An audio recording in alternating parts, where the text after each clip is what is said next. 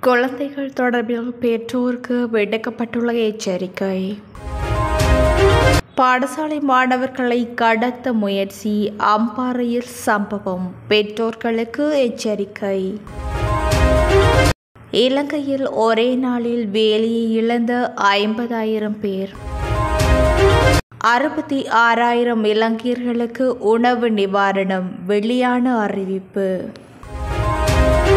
சிறுவர்கள் மத்தியில் மிக வேகமாக ஒரு வகையான காய்ச்சல் நோய் நிலைமை காணப்படுவதாக லேடி ரிச்வே சிறுவர் வைத்திய அதிகாரியின் வைத்திய நிபுணர் வைத்தியர் தீபால் பெரேரோ தெரிவித்துள்ளார்.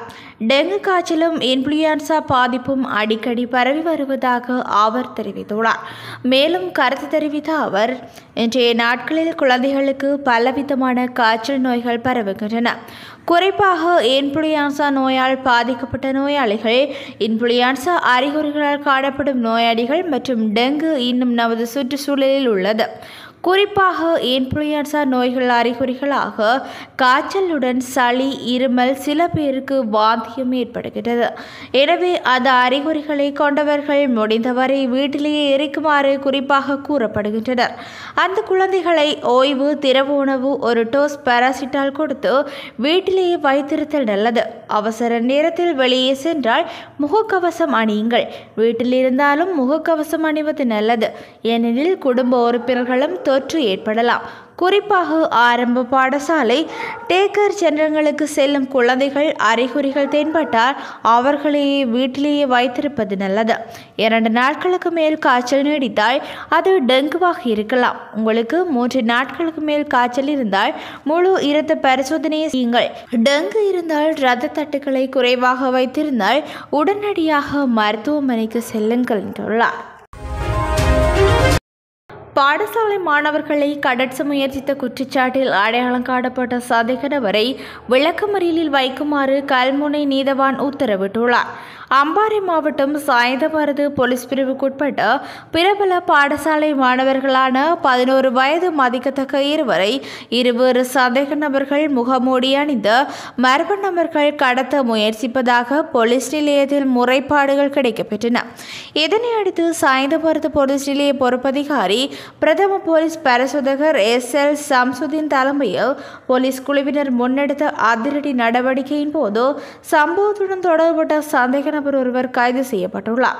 அத்துடன் குறித்த கடத்தல் சம்பவம் இடம்பெற்ற பகுதிகளில் உள்ள சிசிடிவி கேமராக்களின் உதவிகள் மற்றும் புலன் விசாரணை முடக்க விடப்பட்ட நிலையில் மாணவர்களை கடத்த முயற்சித்த சந்தேக நபர்கள் கைதாகியுள்ளனர்.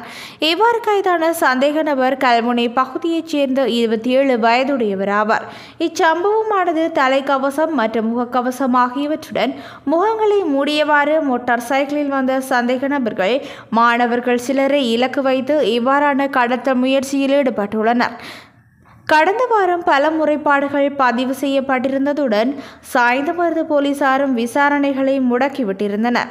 எதிர்க்கமைய போலீசாரினால் முன்னெடுக்கப்பட்ட விசாரணையின் போது பாடசாலை மாணவர்களை கடற்ச முயற்சித்த சம்பவம் தொடர்பட்ட நபர்கள் கைது செய்யப்பட்டதுடன் நேற்று செவ்வாய்க்கிழமை கல்முனை நீதவான் முன்னிலையில் அடையாளத்துக்காக அணிவகுப்புக்கு உட்படுத்தப்பட்டனர். செஸ்வரி நீக்கப்பட்டதன் காரணமாக உள்ளூர் அழகு சாதன உற்பத்தி நிலையங்கள் மூடப்படும் அபாயம் ஏற்பட்டுள்ளதாக இலங்கை அழகு சாதன உற்பத்தியாளர்கள் சங்கம் எச்சரித்துள்ளது. இதனால் ஐம்பதாயிரக்கும் மேற்பட்டோர் வேலை இழப்பார்கள். மேலும் சொந்தை வர்த்தக உடன்படிக்கையின் கீழ் ஷாம்பூ ஷவர் ஜெல் கிரீம் போன்ற சொகுசு பொருட்கள் சொங்க வரியின்றி இலங்கைக்கு கொண்டு வரப்படும். இதனால் வெளிநாட்டு நிறுவனங்களும் உற்பத்தியாளர்களும் பயன்பெறுவார்கள் என்றும் குறித்த அழகு சாதன பொருட்களின் விலைகள் குறையும் மற்றும் சங்கத்தின் தலைவர் தெரிவித்துள்ளார். நாட்டில் அறுபத்தி ஆறாயிரம் குடும்பங்களுக்கு உணவு நிவாரணம் வழங்கும் நடவடிக்கை ஆரம்பிக்கப்பட்டுள்ளது.